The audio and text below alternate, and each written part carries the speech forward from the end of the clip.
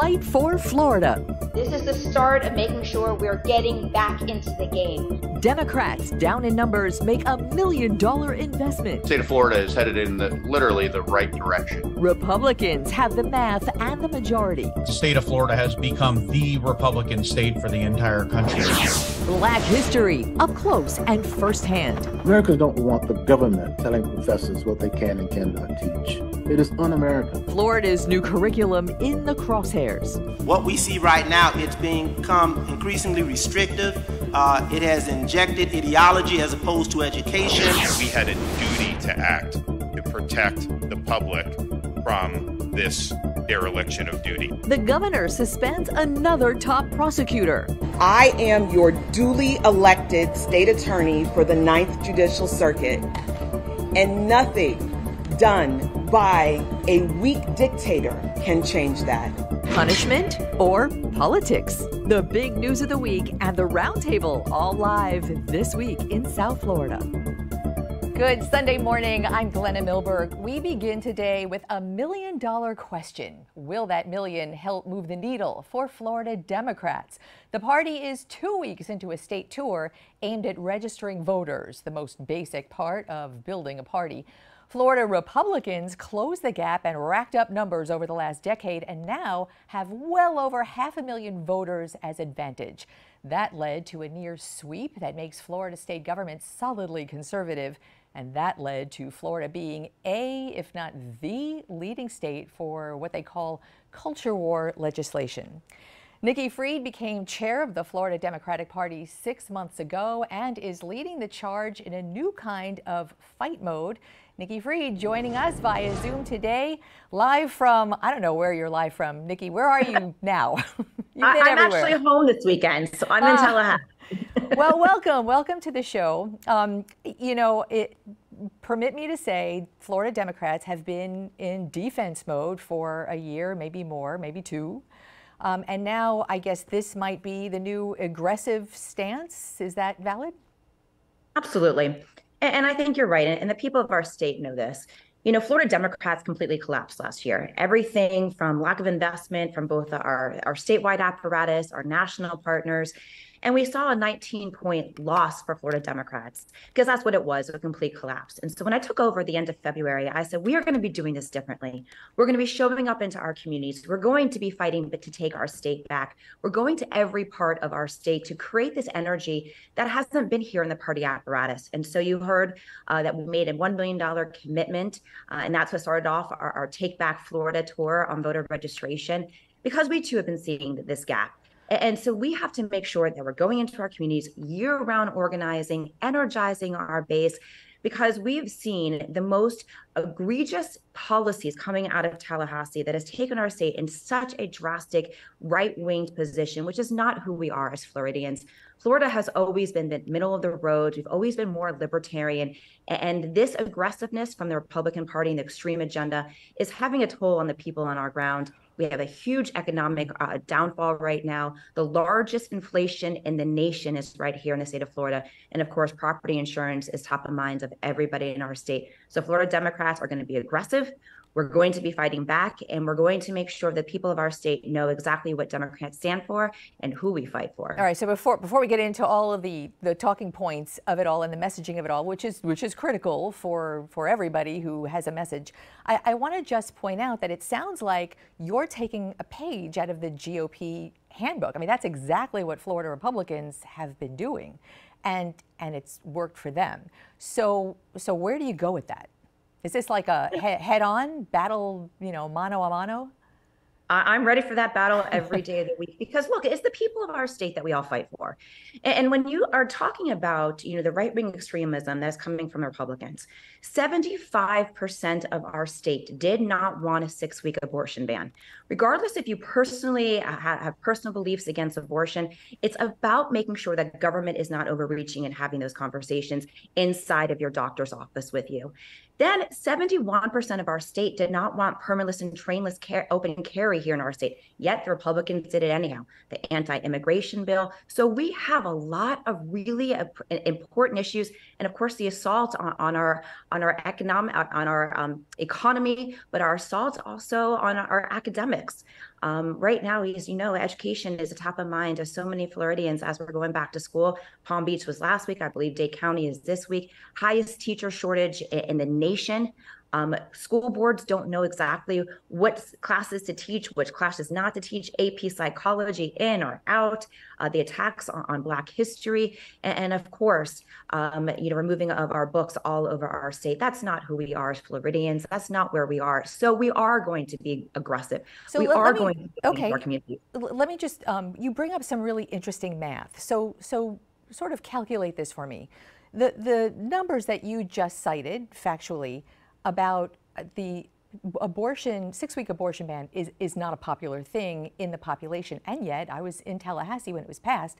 It was a two to one thing it, in the Florida legislature. So, what you're talking about in the halls that make policy and make law, there is a two to one conservative majority put there by Florida voters. So, how do you, how do you reconcile that math? It's a couple of things. You know, again, if you actually had the turnout in 2022 that we typically have in a gubernatorial election like in 2018, 1 million Democrats did not show up in the 2022 election, including add that to the amount of our third party, our NPAs, no party affiliates that also stayed home. And so when you see such a mass exodus from the polls, that is what has resulted in the supermajority in both the House and the Senate, uh, the, the sweep all of, of, all four cabinet okay, positions. But, but why? Why? Why did people stay home? Well, it was a couple of things. You know, first of all, you know, Ron DeSantis had a significant amount of war chest. Democrats did not. Um, there, there was not a, a, lack. There was a lack of energy from the candidates, um, a lack of a platform. You know, what exactly was Democrats, you know, selling in 2022. I, you know, even to this day, I, I, don't have an answer for that. You know, we weren't putting the work on the ground. We weren't doing year-round organizing, and so people just felt, well, why would I come out and vote? Um, you know, one party is the same as the other, and so people stayed home, and that's what uh, equated to. And of course, the, the tremendously large gerrymandering uh, of our of our of our districts. Um, we're seeing that the, the, congressional maps. There was a deal on Friday. It looks like uh, the congressional map uh, up in the Panhandle where Al Lawson was was maybe coming back to the Democrats and having a, a new drawn seat because Governor DeSantis came in like we've never seen before and drew those congressional maps. We've never seen a governor come in, and now he's going to be losing in the courts. But the seats have been gerrymandered, and, and you can see that all over the maps. And so that is where Democrats are going to have to fight back. We're going to have to fight back in the margins. We know that our third parties right now are close to almost a third of our electorate. And the Democrats not just need to talk to Democrats, we need to be talking to independents. And of course, the policies that we talk about the economy, um, the environment, education, those aren't issues that are just solely Democrats. Women's right to choose, um, permitless carry, those are not Democratic issues. Those are issues that affect everybody in our state. And we didn't have a cohesive message in 2022. You better believe we're going to have it in 24. So that's it. Let's get back to that messaging now because that is critical. And I, you know, we as journalists always tell people don't listen to the talking points, look beyond, drill down, do firsthand. But we know that talking points and messaging is critical in an election, and the Republicans had that as early as 2018. And I think anyone on the street can tell you anti woke is a Republican message. And there are a lot of people who you, you can't ignore that a significant number of voters don't want to be whatever they consider woke. And then there was uh, in 2018 socialism. That word resonates, especially in South Florida, with so many people who don't want to be socialist. Not that anyone ever would be or government ever would be, but that was a very clear, very convincing message. What did Democrats do to combat something like that? We didn't. And that's where you saw the, the losses. There was no combat. You know, when we were labeled socialist, let me also be very clear. You know, as somebody who grew up in Miami, somebody who who heard the stories of my back neighbors who fled uh, communist Cuba, that we understand why so many Floridians and, and that left their, their South American homelands um, to come here to our state and to our country for democracy, for freedom, for liberties, And they come here, and, and I can tell you, I would never, ever let our government go into a direction that would take away those rights and those liberties. But unfortunately, that's what the Republicans are doing. You know, they're, they're making it harder for people to have that American dream. They're, they're making it harder for, for our teachers to teach. They're going into our classrooms, they're going into um, our, our doctors' offices and our hospitals. They're, they're going into the very personal decisions that are being made every single day. And they're not doing anything to actually eh, fix the economy. We're at 9% inflation, the highest property insurance rates in the country. So while they've been dealing with these culture wars and dividing our state, the everyday working Floridian, the people that have lived here for generations or the people that have come here to retire, can't afford to live here anymore. So the message for Democrats is the same message for the everyday Floridian in our state. The culture wars are hurting our, our, academics, they're hurting our environment, they're hurting our economy. And, and, it's time to fight back and, and, give the people of our state back their state because unfortunately, the, the MAGA extremism is hurting our state. And so that's what we're going to be doing. We're going to be having a cohesive message, fighting against the messaging that has been on us. And what are the Republicans saying right now? That our liberal agenda, I, I mean, that's the best they've got and the reality is, is that the people of our state are tired of this. In fact, again, Ron DeSantis is underwater in our state. He has flipped flipped to under 55, eh, under 50%, close to about 46% of favorability. If he had an election today, he would lose. These cultural wars do not work and are having huge impacts on our kids, on our teachers, on our families, on, on our immigrant populations. And that has to stop. And that's what Democrats are going to be presenting for the 24 a cohesive message, fighting back for our economy, fighting back for our educational system, and fighting back for the everyday working person of our state. And fighting in the margins, which I feel like every single Florida election somehow is in the margins, right? Nikki Fried, yes. great to see you. Thank you for your time today. And uh, check in. We want to be on top of things as we march toward 2024. Thank you. Take care. All right, and up next, the debate and the debrief. We take this to the roundtable. Stay tuned.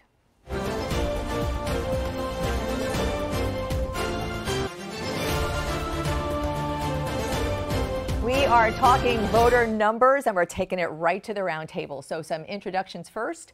Loreal Arscott chairs the Miami Dade County Independent Civilian Panel and is past president of both the Wilkie D. Ferguson Bar Association and the Gwen Cherry Women's Lawyer Association. Did I get that right? Yes, ma'am. Anne Geggis is a South Florida-based journalist reporting statewide for Florida politics. Rafael Yaniz is a Miami-based attorney and a consummate political analyst and a veteran of the Roundtable. And veteran of the Roundtable, Marili Cancio, attorney, Republican analyst, and so deep in the weeds with Miami-Dade Republican politics. So guess who gets the first question? so Marili, first of all, great to have you and great to have you back. Thank and you. Thank um, you for having us. Of Thank course. You. First time in over three years in person. COVID is, yeah. I know it's not break. over, but for here it's free, COVID-free space. Um, let, let me hear your um, sort of reaction to what you heard Nikki, Nikki Fried of all Florida statewide Democratic chairs.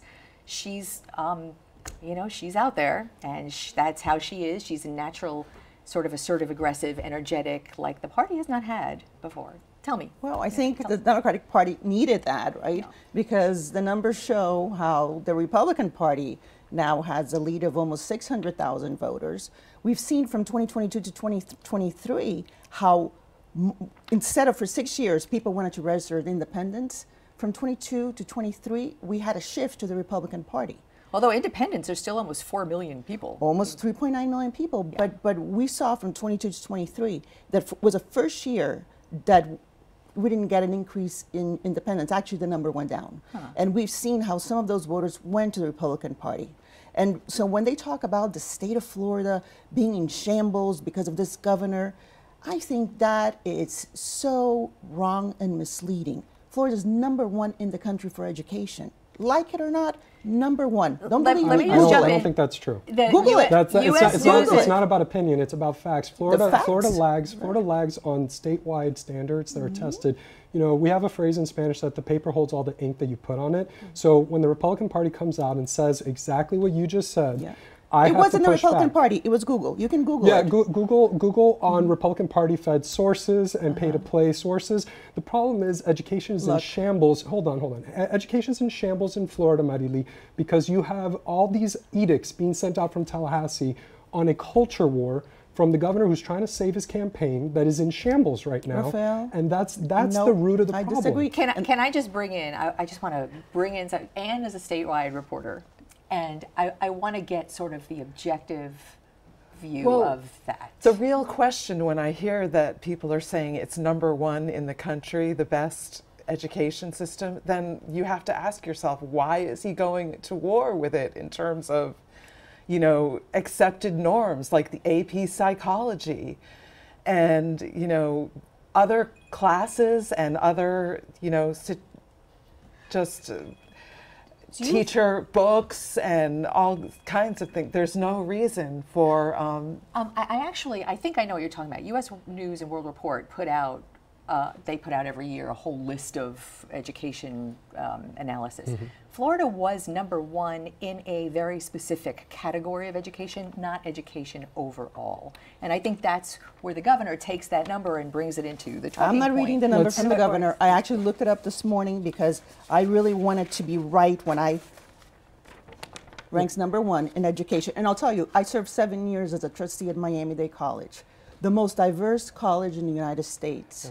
And what we've done about affordability, about education in this state for minority students, it's incredible. So I don't appreciate anybody coming and saying, oh, well, in Florida, really, our schools are not that good. Why is it that we're the number one Let's- state in the country of people moving in here? Then why is he making such To pains to better. change it? Let's- To why it is he going to work with a war with Anne. things like diversity, equity? Today And in the inclusion Herald, and today in the. Herald, first page of the Miami Herald, the, the whole thing was how horrible it was. People are going back to school, how we're banning books. I turn around after reading the article, ask my husband, honey, how many books do you think were banned in Miami, Dade, and Broward? He said, one. I said, no, none. No books were banned.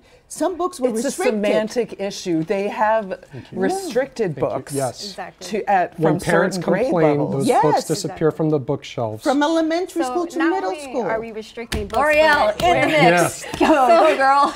right. I mean, I love the lively discussion. I, you know, welcome to the roundtable. But what's misleading and what's misguided is this idea of a cultural war.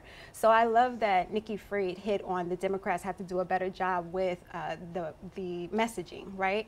Spot on. And we've mm-hmm. been saying that for many, many years. The Democrats need to listen to their constituents and they need to tune up the message. So let's talk about that message. What does anti woke mean anyway? And that's something that you hinted at, Glenna. Anti woke, first of all, if anything, is actually moving everyone to the side of those of us who are woke. So let's talk about woke. Woke means Re- being reclaim. aware. Reclaim the We're message, is reclaiming what- the message. Woke means being aware of the social injustices around you, awakening to the world around you. So when DeSantis is attacking the woke agenda, he's basically telling everyone to go to sleep to the realities that face us. But the problem is that he, he what feeds DeSantis and Republicans that are going against the woke mob and Florida's anti-woke according to their messaging is because they hook on to the extreme examples. And that's that's the struggle that I And- have and with folks. fears. But what are and the- fears. those And fears. extreme examples? Even when we discuss it, we're giving credibility to their argument because there are no extreme examples. The reality about what slavery meant in America, the reality about what it means to be women in Well, America. We'll be talking about that as, as the show continues as well. You, you know what? Before we run out of time, and there, uh, Nikki mentioned something that I hadn't thought of that I thought was very interesting, and that is the gerrymandering of the state. And you know, to to the victor go the spoils. I mean, Republicans Certainly. got to draw the lines, and they did. And how how brilliant did they draw the lines, or was it? Well, it might have gone too far, I'd say. It seems like the Supreme Court is having something of a backlash about the extent to which it has done. It's focused on others, they've focused on other states, but we've heard that Florida's time is coming, that they might get the map thrown out. And they've said a pathway has been created to get one of the um, black oriented districts back in the mix for 2024. So it could be happening sooner th- rather than later. So, but that would be a congressional district. But what about the, the state lines? I mean, the- for the the districts Mm-hmm. for the state. State Yes. When you, State legislature. when a voter goes and votes for a state senator or a state rep, and that's where the laws of the state are made. I mean, Marili, that's those those lines are really favoring a Repu- another Republican vote. Look, we have what a constitutional amendment against gerrymandering. you Fair know. Districts, Florida. So I, I will trust the court to make the decision on that. Glenna, to your point, there's in political science, there's cracking and packing. So you crack a demographic and split it up so that you can dilute their power. You pack together a demographic that you want to get. That that's a true a truth amongst both parties. And so, is it cracked and packed already? Well, the, the legislature, Republican dominated legislature, has been cracking, and then there's backroom deals cut where they pack in to protect certain interests. so, crack and pack will be the message line for our I next it. I'm, memo. I'm making my University of Florida poli sci professors proud, hopefully, this morning. All right, so um, we are going to be back in just a little while, but first, next, for you to see and for you to see, the debate over Florida's Black History curriculum really did ramp up this week. In the fight over facts and context, a firsthand tour is underway for teachers right now, and we are getting on that bus. Stay tuned.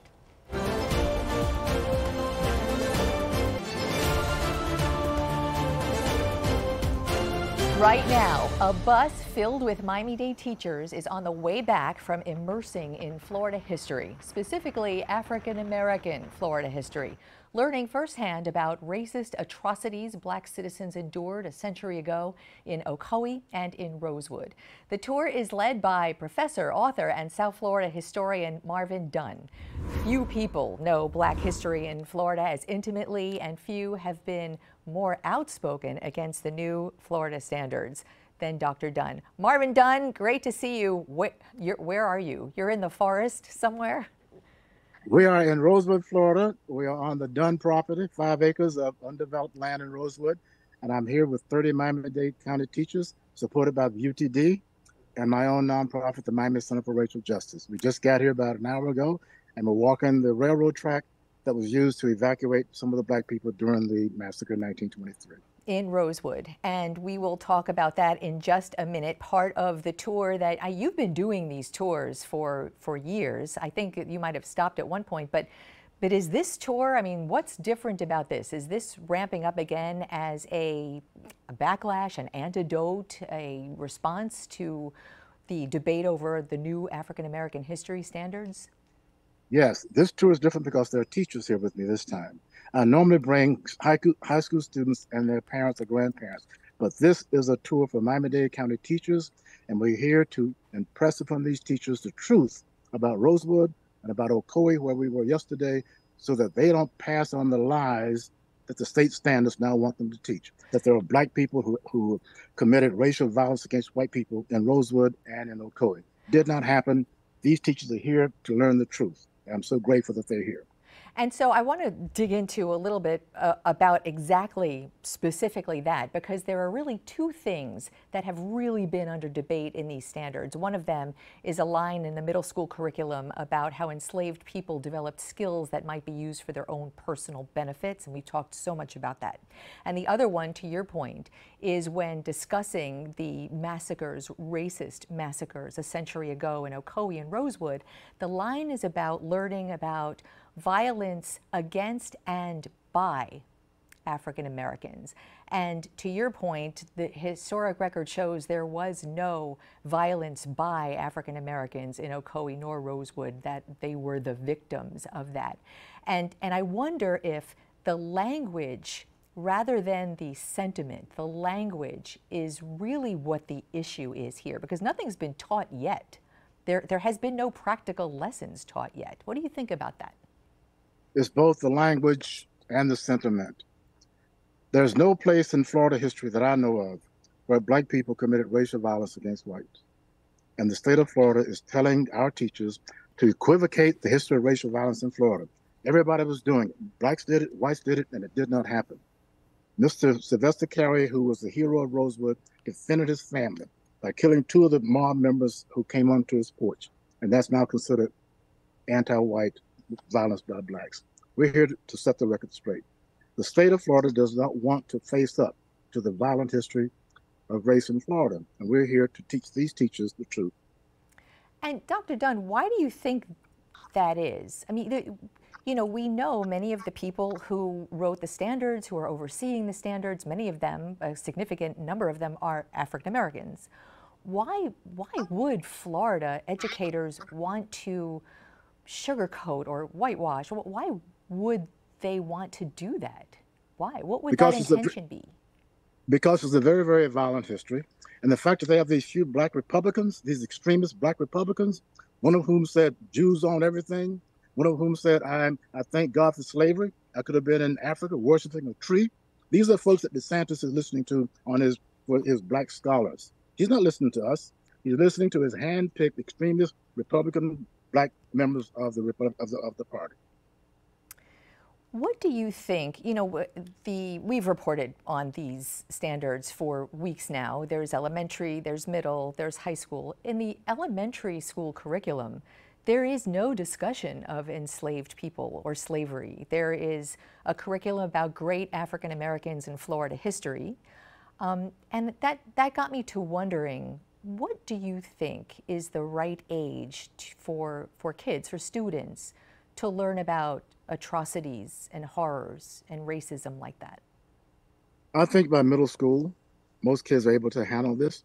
Think about what they have on TikTok available to them. Mm. So middle school, but I'm concerned about lower grades. Right now, we got this Prager University, ultra right uh, organization, offering videos to kids, to the schools, that teach Columbus was telling the slaves, telling people that it was better to be enslaved than to be killed.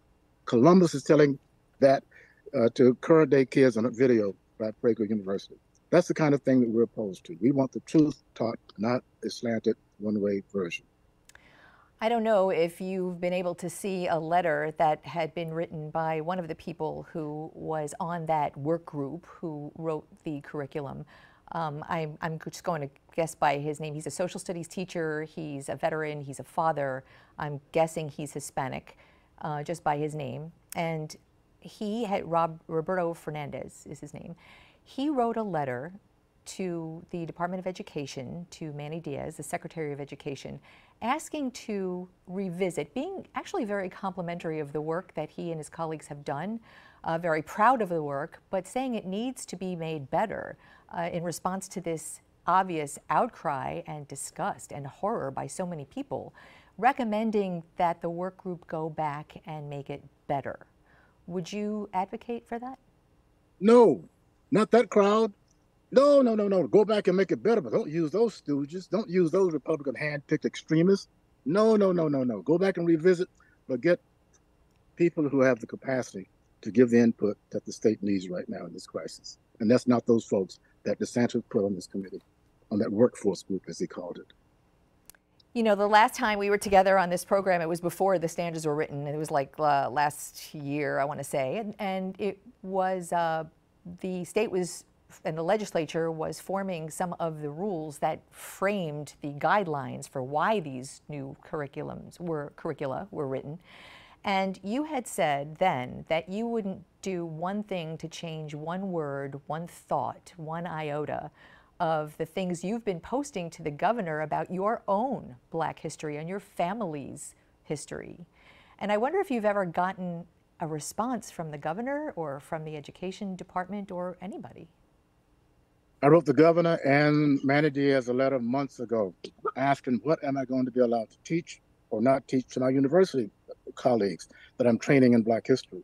Never got a response from either person. I was so disappointed that Manny Diaz canceled his appearance in Miami because I wanted to ask him some of those questions. The governor never responded to anything I've sent to him. A lot of people would like to hear them respond for sure. Dr. Marvin Dunn and the group of teachers behind you in the woods, this might be one of the coolest live remotes we've had on This Week in South Florida. And uh, hi, yes. everyone. And I'm really appreciative that you all stopped for us to do this, and we'll uh, safe trip home. Thank you. See Take you. Care. All right. And next up for us, the roundtable weighs in.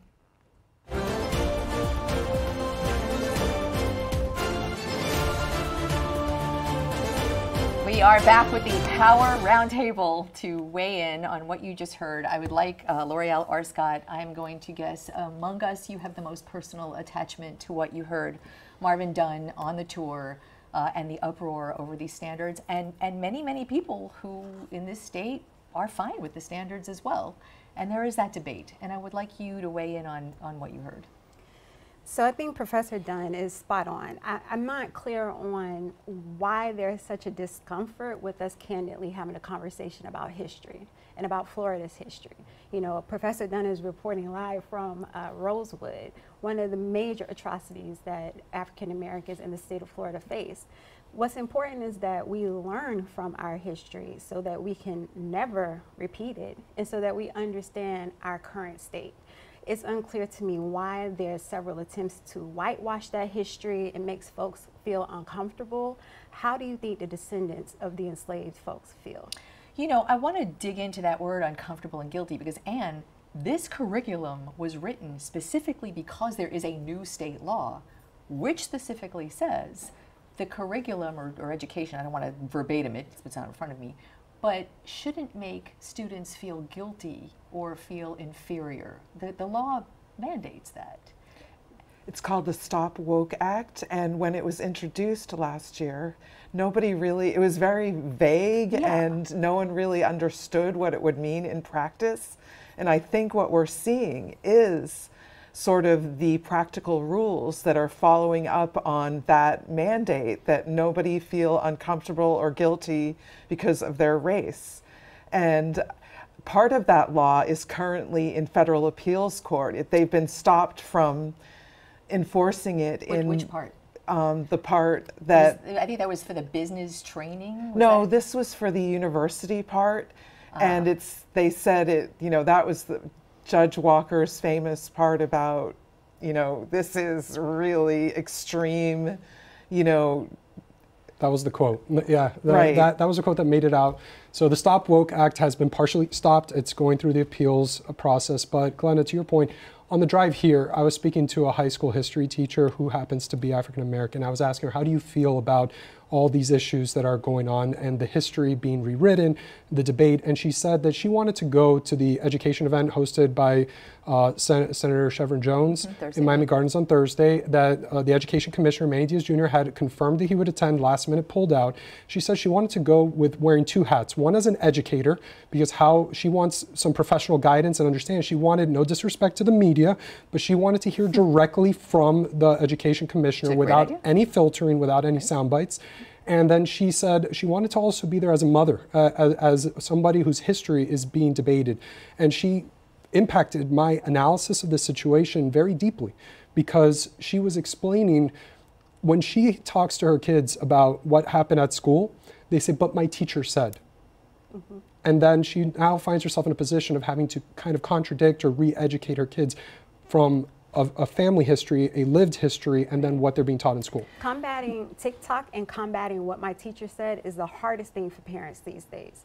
On, on, on every issue. In every, in every issue. issue. The I, only thing that I disagree with Professor Dunn, respectfully, Professor Dunn, I believe you need to start talking to your children about this nation's history from before they reach middle school.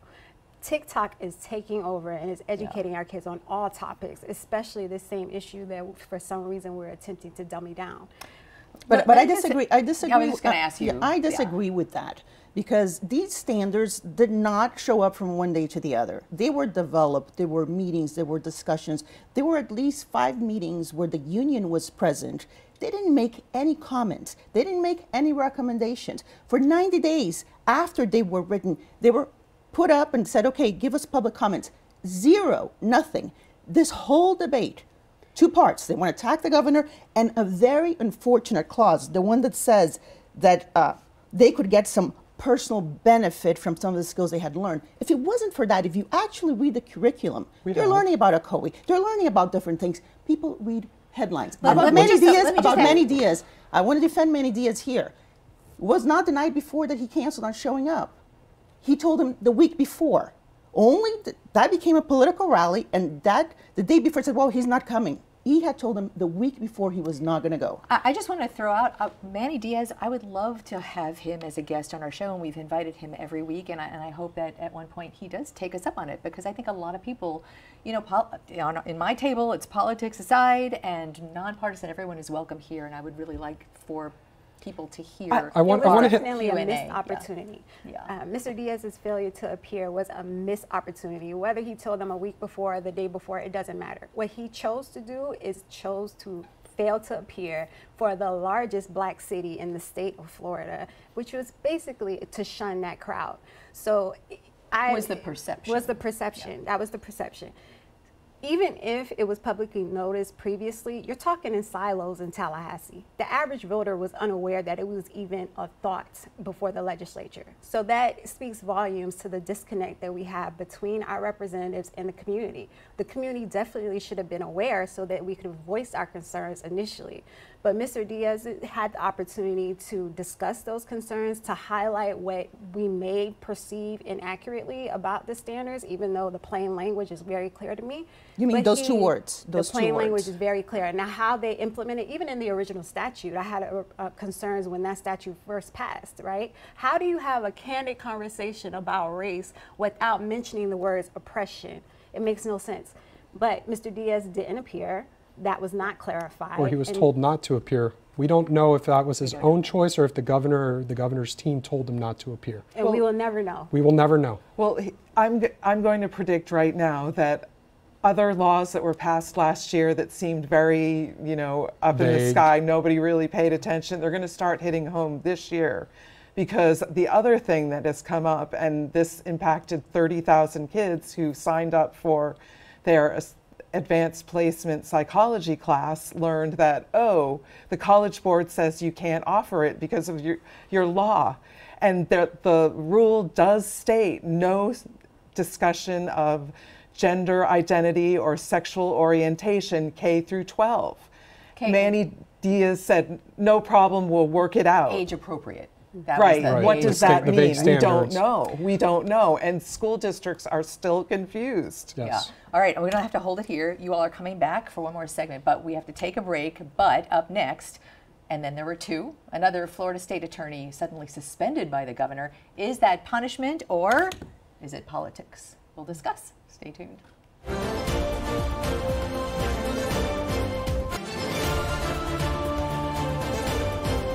We are back with the roundtable, and before we end this program, we really need to talk about uh, the second suspension in a year, or maybe a year and a week, of a state attorney in Florida, Monique Worrell, who oversees the state attorney for Orange and Osceola counties, suspended by the governor for neglect of duty and for endangering the public.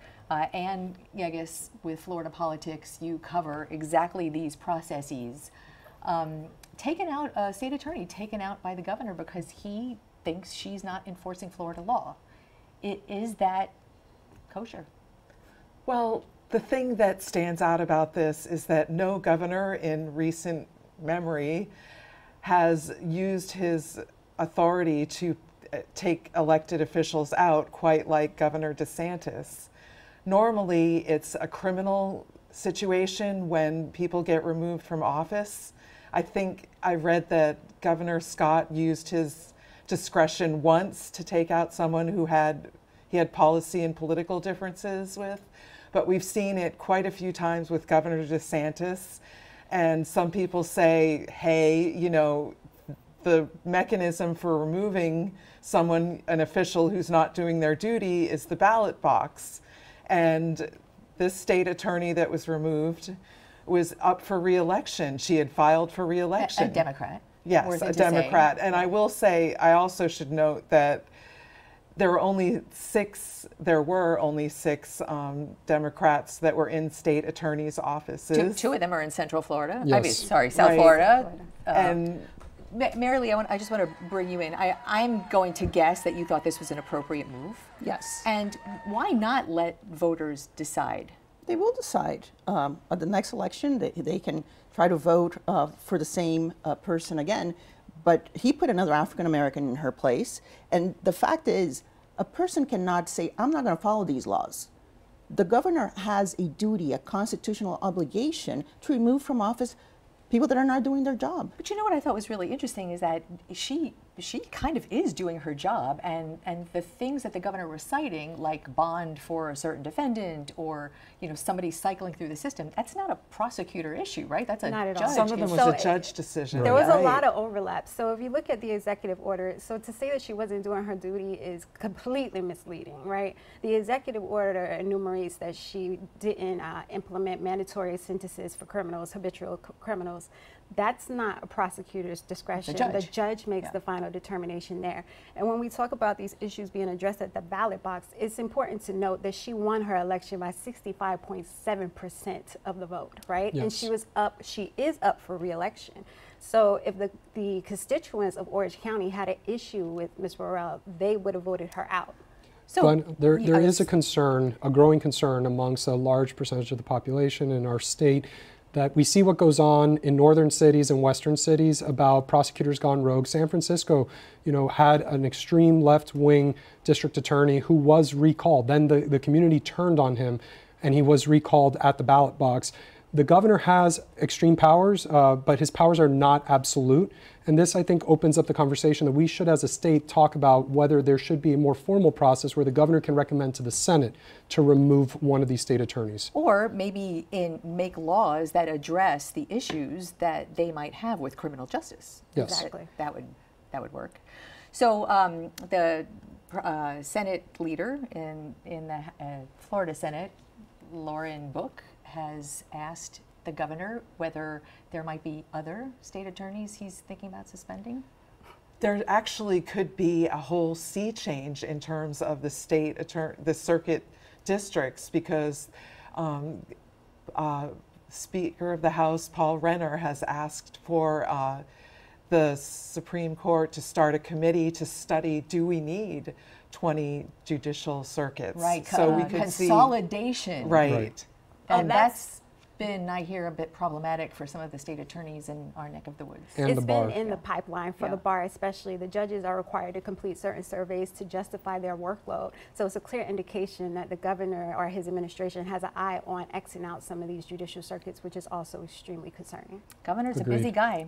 Mm-hmm. So Ron DeSantis is actually in Iowa, and he is one of the presidential contenders at the Iowa State Fair this weekend, courting the nation's first 2024 voters. But in the impromptu rapping with the crowd category, Vivek Ramaswamy and Eminem take that title. And if you all haven't seen this, we're going to um, send you to break. Do not walk away from your television. Take a look.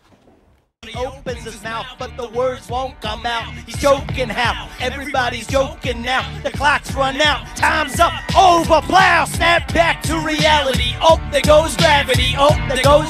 He choke. He's so mad, but he won't give up that easy. No, he won't laugh it. He knows his own back that he's.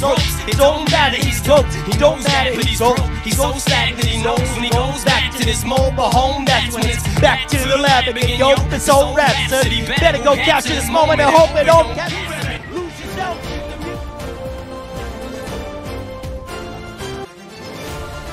To rewatch today's interviews or listen to the This Week in South Florida podcast, all you have to do is scan this QR code with your phone and it takes you right to the This Week in South Florida section of local10.com. And you are such a big part of this program. We would love to hear what you think on anything you heard today or anything in the news. Connect with us really easily. Send a message to at Glenna, WPLG, on Twitter, Facebook, Insta, Threads. Pick your poison. Thank you so much for being here with us on this Sunday. Have a beautiful day and keep in touch.